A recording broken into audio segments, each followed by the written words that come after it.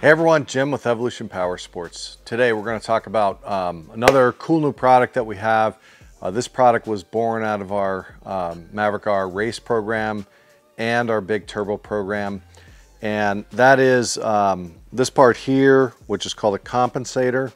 Uh, this goes between the um, OEM exhaust manifold that comes out of the head and the turbocharger, okay? Now, the OE, this is the OEM part here. Okay, it's a bellows, stainless steel, has this separate piece inside.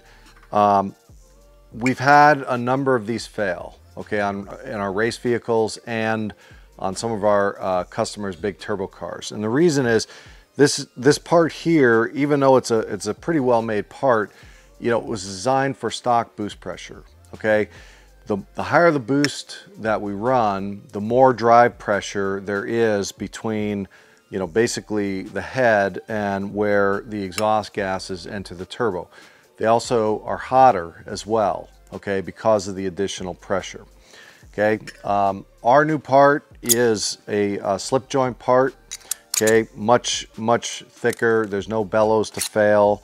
Uh, it still has the uh, internal sleeve and um, fits, you know, just the way the OEM one does.